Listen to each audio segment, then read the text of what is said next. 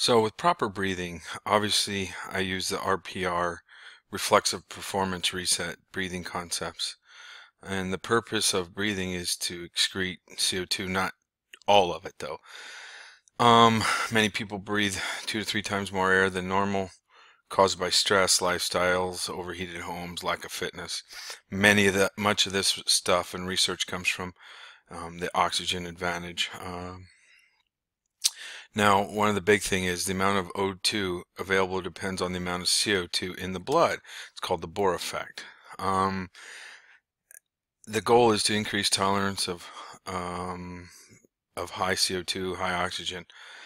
Uh, holding breath during the exercises that I mentioned leads to drop in O2 saturation, which then turns around and produce more red blood cells to offset the effects. Um, mouth breathing, you're more sympathetic. Um, with chest breathing and mouth breathing, it causes amount uh, stress that's not good stress. Um, activates uh, the mouth breathing, activates chest breathing, reduces um, O2 intake, uptake in the arterial blood, causes low oxygen levels, concentration. I get this from, again, the book is Oxygen Advantage. Dan Fichter mentioned it to me. Um, he is not the author. So the big thing is the Bohr effect will, again, increase the amount of oxygen through CO2.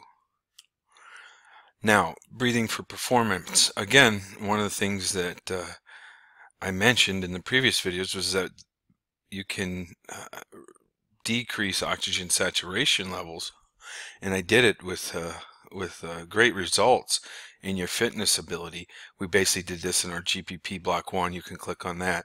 Um, many of my kids may have gotten altitude sickness signs um, in regards to after the workout by holding your breath. And again, we hold the breath with all the air pushed out of your lungs.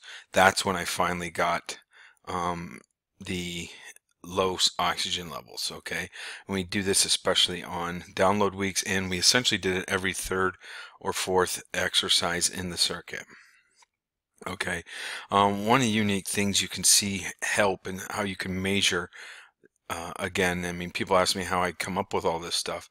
I, I, I, don't come up with it. I just measure it and find out what's the best ways to implement it. But you can test bolt scores and breathing volume. Now, when you first, when you do this, you're just laying there, you calm down, and you'll basically watch your stomach move um, nice and calmly, and then you'll breathe out and you'll try to hold your breath and you'll try to go as long as you can with the breath out until your body tries to breathe on its own and causes a reaction. And a lot of um, times you'll be 10 seconds or less, okay? And then by the end of these training cycles with the right breathing training, you can get athletes that, that will lay there and not move and their body won't gasp for air for 40 seconds. Again, this is just natural. It's not like you're trying to hold it too much. Okay, you're you're natural you're trying to stop breathing, but that gas for air should be a natural thing. And this is there's a huge correlation in your efficiency, your resting heart rates. I have many athletes with a 32 to 36 resting heart rates, and this is part of the process. Okay, now, and with that being said, you have to remember training is a process. So many powerlifters or sport coaches that do short sprints will say, um, I don't need that much aerobic training.